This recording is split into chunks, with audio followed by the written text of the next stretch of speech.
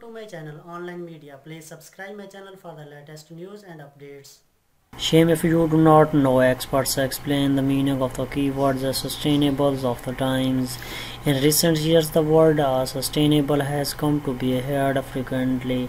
Tell me go also has the questions what does a sustainable means? We talked on the experts on environmental issues.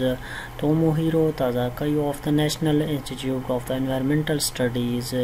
How is it different from recycling? Sustainable is a word that uh, combines the sustainable and the capable meaning of sustainable.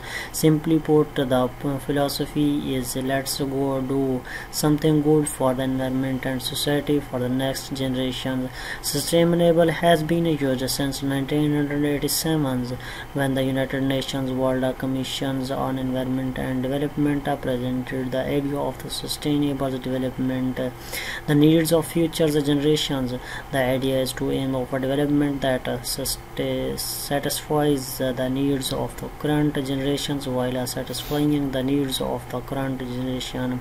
Development is a long term, so we prefer to use the word sustainable or uh, sustainability since 2000. This expression has been used frequently.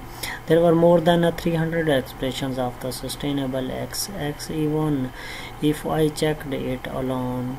Welcome to my channel Online Media. Please subscribe my channel for the latest news and updates.